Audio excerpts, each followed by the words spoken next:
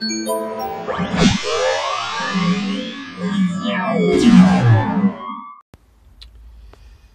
guys, welcome back to another video. and today I'm going to be demonstrating to you, well actually hold on, just flip the camera over so I can hold it this way. I believe that's the right way. No, it's the wrong way, so okay that failed. and today I'm showing you how to make this, it's called, this is camo netting, not tarpaulin. This is like very, it's like that netting stuff they use in the army. As camouflage as you see when you put this over a model I'm it's gonna look great. So basically I'm just gonna show you how to create this. So the things you were gonna need is a piece of cloth. This is dishcloth. It is this stuff. Cut it up and then cut it in half because it's two if I can do it one-handed. It is two layers in one. So you would cut this up and then cut in half again. So you're left with one thin sheet. Three colours of ink. So I got brown green ink and a black ink for this.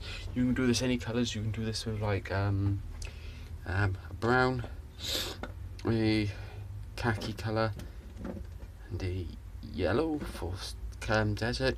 Then you could do it with black grey like a white lighter grey tone for um, urban camouflage. So basically again you just want to get a big paintbrush, don't be shy with it, just get a load of it onto the brush and then just start dabbing it on. I mean be generous with it, don't be don't be shy with it. Just get it all on there. All dabbed on. The more the more you spread it out the better. Break it all up. So we'll just do this half of the cloth for now. So give your inks because these are diluted. Because I've diluted mine one part um three parts water to one ink just to help the colours run a bit better. It is also good to keep stirring them as the ink does tend to separate from the actual cloth. Um water so just dab these up do certain areas like so. Then next we'll move on to a green.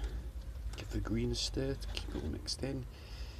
And don't worry about going over the other colours um, I think that's a bit okay just the rougher that looks the better the camouflage will it'll get off.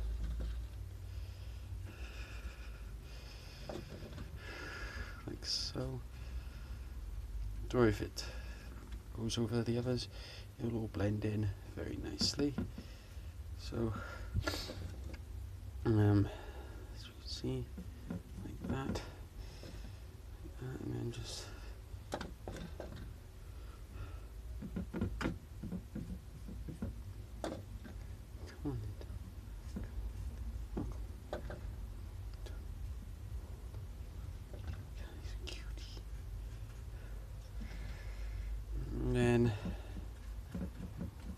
once you've got the green on like so, we then move on to the black once again, give the black a stir up, and then just fill off any leftover spaces. Like so.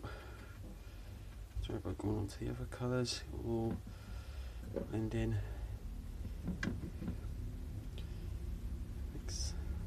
Quite nicely. Don't worry about going to right to the edge though, because you'll probably end up trimming that off as they tend to fray. A bit more. Um, just get, basically just aiming to get it all covered. Like so, I go use up all the ink because it'll just go all dry feed into the pots towards the end of the use So once you've got a load of black on it, just move back then to a brown.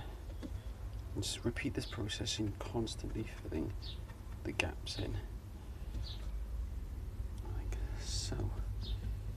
Then I think we'll put some more green onto it. Make it look a bit greener than what it was Mm, like a bit here the green is awfully thinner than the rest for some reason I don't know it's just probably because there's less ink pigment in the green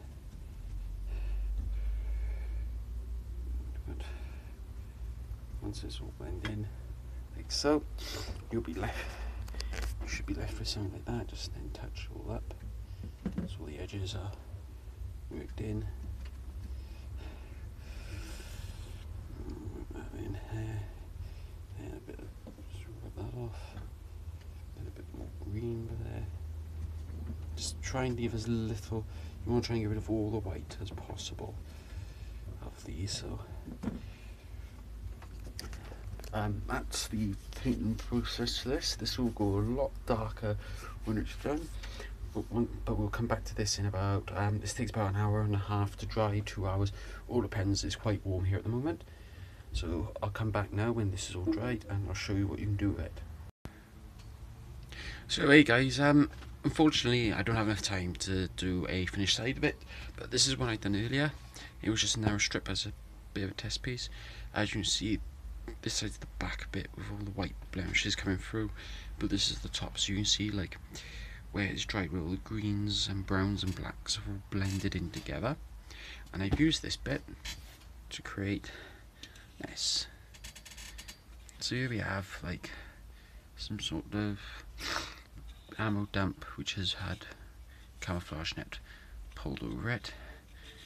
Um, I've super glued the tabs on the end. I'm going to cut off that bit there, that frayed end. So it's just a piece of plastic card with some I-beam bits on the bottom, and it looks pretty good. To be honest with you, you know, you're going to be able to.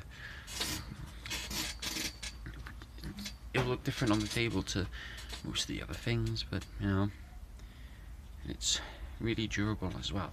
As you see, like all the browns have blended into a green into a black. All blends in as one which is really good. So thanks for watching guys. Hope you like this um, quick tutorial on how to make this camo web stuff and I'll see you in the next one. Thank you